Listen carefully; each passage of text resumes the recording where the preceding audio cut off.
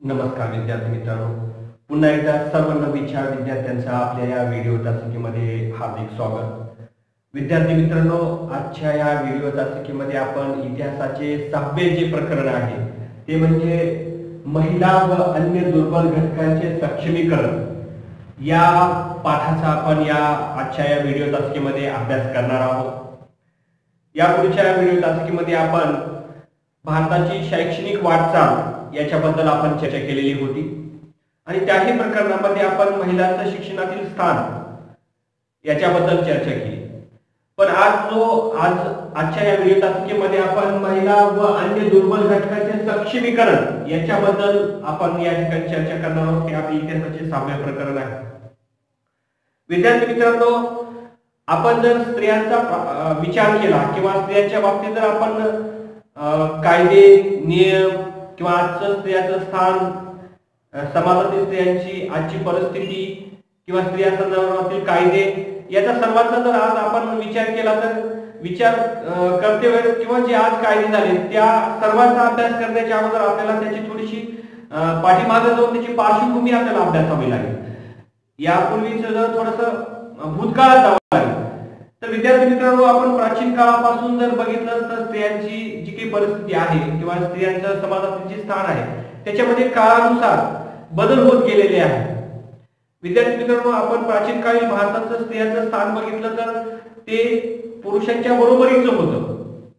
किंवा काही इतिहासातला कालखंड जो आहे तो अं, तो जो आहे तो त्या काळामध्ये स्त्रिया ही महत्त्वाच्या भूमिकेमध्ये होतात किंवा स्त्रिया ही कुटुंब प्रमुख असलेल्या आपल्याला पाहायला मिळतात.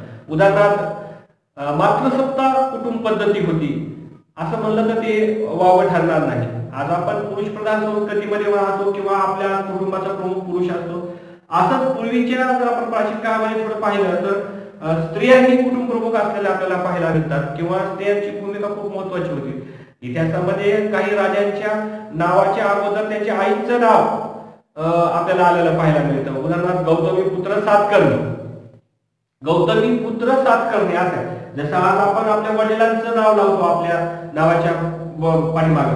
तर त्या काळामध्ये स्त्रियांचं म्हणजे आईचं नाव लावलं जायचं. याच्यावर तुम्हाला लक्षात येतं की किंवा आपण याच्यावर सांगू शकतो की मातृसत्ता कुटुंब पद्धती होती.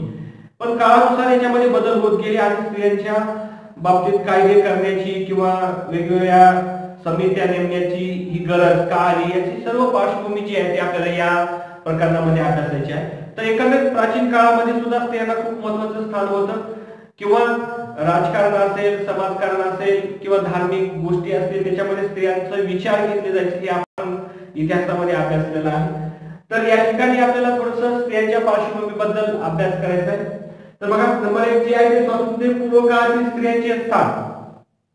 स्वातंत्र्यपूर्व काळामध्ये स्त्रियांचं काय स्थान होतं? तर स्वातंत्र्यपूर्व काळामध्ये स्त्रियांचं एक महत्वाचं स्थान होतं. आणि कुठल्याही बाबतीत ते स्त्रियांच्या सोबत त्या त्या काळातील राजे असतील किंवा एखाद्या महत्त्वाच्या पदावरचे पुरुष असतील ते स्त्रियांबरोबर चर्चा करायचे किंवा घरातील स्त्रियांचं किंवा जे ज्येष्ठ स्त्री आहेत त्यांच्याबरोबर ते विचार विनिमय करायचे त्यांचा सल्ला जे आहे ते घ्यायचे.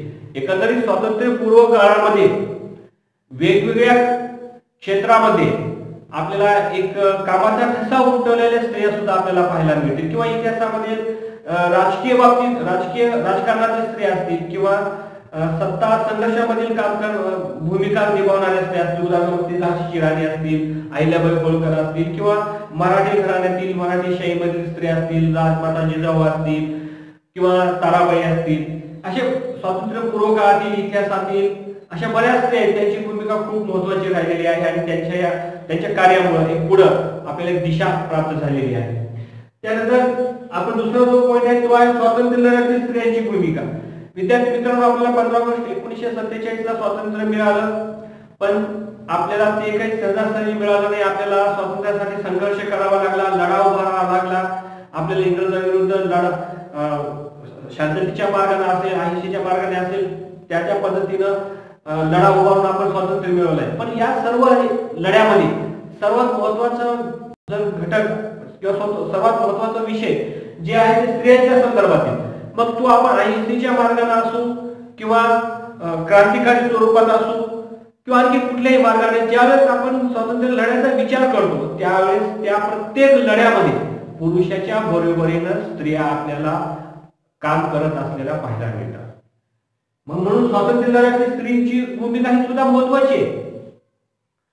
आपण क्रांतिकारी स्त्रिया सुद्धा अभ्यासलेल्या आहेत किंवा आपल्याला क्रांतिकारी क्रांतिकार्यांचा जेव्हा जेव्हा आपण इतिहास अभ्यासतो त्यामध्ये स्त्रियांची स्त्रिया असलेल्या किंवा त्यांची भूमिका सुद्धा महत्वाची होती हे आपल्याला पाहायला मिळेल हे अभ्यास करताना आपल्याला लक्षात येईल. किंवा अहिंसेच्या मार्गाने जेव्हा आपण स्वातंत्र्य लढा उभारत होतो त्यामध्ये सुद्धा स्त्रियांची भूमिका महत्वाची म्हणजेच काय? तर स्वातंत्र्य पूर्व काळामध्येही जरी स्त्रियांचं महत्त्व कमी असतं किंवा स्त्रिया प्रकाशाला जाणवत नसल्या स्त्रियांची भूमिका तरी सुद्धा त्यांचा भूमिका महत्वाची होती आणि स्वातंत्र्य लढ्यामध्ये सुद्धा स्त्रियांची भूमिका होती आणि त्यांची भूमिका महत्वाची ठरलेली हे आपल्याला याच्यातून लक्षात येतं. त्याच्यानंतर स्वातंत्र्य उत्तर काळातील स्त्रियांची भूमिका. कारण स्वातंत्र्य मिळाल्यानंतर समाजामध्ये आपल्याला अशा बऱ्याच स्त्रिया पाहायला मिळतात की त्यांनी सामाजिक कार्याचा वसा घेतलेला होता.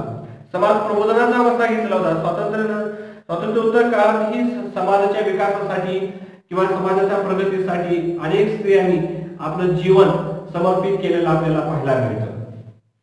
त्यानंतर स्त्रिया आणि अन्य दुर्बल घटकांच्या संदर्भातील कायदे. स्वातंत्र्योत्तर काळामध्ये स्त्रियांच्या संदर्भात वेगवेगळे कायदे करण्यात आले जेणेकरून त्यांचं सक्षमीकरण होतं. स्त्रियावर कायद्याच्या रूपानं त्यांना बळकटी प्राप्त होईल किंवा त्यांना सक्षमीकरण करण्यामध्ये कायद्यांची भूमिका महत्वाची असते. आणि म्हणून स्वातंत्र्य उत्तर काळामध्ये अनेक कायदे कानून स्त्रियांसाठी बनवलेले आपल्याला पाहायला मिळते. जेणेकरून त्याच्या पाठीमागे एकच हेतू होता आणि तो म्हणजे महिलांचे आणि दुर्बल घटकांचे सक्षमीकरण. महिलांबरोबर अन्य जे दुर्बल घटक आहेत त्यांनाही विकासाच्या प्रवाहामध्ये आणायचे त्यांचाही विकास करायचे त्यांची प्रगती करायची आणि ते दोन्ही सांगून किंवा समाज प्रबोधन करून शक्य होणार नाही. पाहिजे तसं आपल्याला त्याच्यामध्ये यश मिळणार नाही. आणि म्हणून त्याच्यासाठी कायदे जे आहेत ते आपल्याला बनवावे लागले. त्याचाही आपल्याला आपल्याला या पाठामध्ये अभ्यास करायचा आहे. त्यानंतर विद्यार्थी भारतातील स्त्रियांच्या परिस्थितीचा अभ्यास. मग पूर्वी स्वातंत्र्योत्तर काळातील स्वातंत्र्य लढ्यातील त्याच्यानंतर स्वातंत्र्य मिळाल्यानंतर प्राचीन काळातील स्त्रियांचा एकत्रित आपल्या सर्व स्त्रियांच्या परिस्थितीचा अभ्यास या ठिकाणी करायचे. त्यानंतर स्वातंत्र्योत्तर काळामध्ये स्त्रियांच्या संदर्भात जे बनवलेले भारतातील कायदे आहेत किंवा सध्या परिस्थिती या सर्वांचा आपल्याला या ठिकाणी अभ्यास करायचा आहे. तर इथे एक चार दिलेला विद्यार्थी मित्रांनो दर हजारी पुरुषामागे स्त्रियांचे प्रमाण. मग याच्यामध्ये जनगणना वर्ष आणि स्त्रियांचे प्रमाण हे दिलेलं आहे. तर याच्यावर आपल्याला स्त्रियांचे दर पुरुषामागचं प्रमाण त्याबरोबर एकोणीशे एक्कावन्नची जनगणना आहे. त्याच्यामध्ये एक हजार पुरुषाच्या बरोबर म्हणजे एक हजार पुरुषाच्या पाठीमागे नऊशे शेहेचाळीस स्त्रिया होत्या. म्हणजे एकोणीशे एक्कावन्नच्या जनगणनेची ही आकडेवारी आहे. त्यानंतर दर दहा वर्षांना जनगणना होत जाते. आणि एकोणीशे एकसष्टमध्ये ज्यावेळेस जनगणना झाली त्यावेळेस दर हजार पुरुषामागे नऊशे एक्केचाळीस हे स्त्रियांचं प्रमाण होतं. म्हणजे एकोणीशे एकावन्न ते एकोणीशे एकसष्टमध्ये फारसा काही फरक पडलेला नाही आपल्याला पाहायला मिळतो. पण एकोणीशे एकाहत्तर ची जेव्हा जनगणना झाली त्यामध्ये मात्र नऊ एक हजार पुरुषामागे नऊशे तीस तीस स्त्रिया होत्या. इथं मात्र स्त्रियांची संख्या कमी झालेली आपल्याला पाहायला मिळते. आणि त्यानंतर एकोणीशे एक्क्याऐंशी ची ज्यावेळेस जनगणना झाली त्यावेळेस दर हजार पुरुषामागे नऊशे चौतीस स्त्रिया आपल्याला पाहायला मिळतात. म्हणजे इथं सुद्धा संख्या कमी आहे.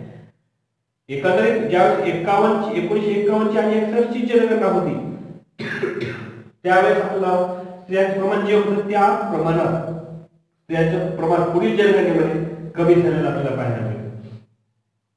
त्यांच्या त्यानंतर एकोणीशे एक्क्याण्णव ची जनगणना झाली त्यावेळेस दर हजार पुरुषामागे स्त्रियांचं प्रमाण नऊशे सत्तावीस होतं. इथं सुद्धा आपल्याला प्रमाण कमी झालेलं पाहायला मिळतं. त्याच्यानंतर दोन हजार एक मध्ये एक हजार पुरुषाच्या पाठीमाग नऊशे तेहतीस स्त्रिया पाहायला मिळतात आणि दोन हजार अकरा च्या जनगणनेमध्ये नऊशे अठ्ठावीस दर हजार एकोणीशे मग नऊशे अठ्ठावीस असलेला आपल्याला पाहायला मिळतं. तर एकंदरीत काय? तर एकोणीशे एकाहत्तरपासून जे आहे ते दोन हजार अकरा किंवा आजच्या परिस्थितीमध्ये स्त्रियांचं प्रमाण हे घटत चाललेलं आपल्याला पाहायला मिळतं.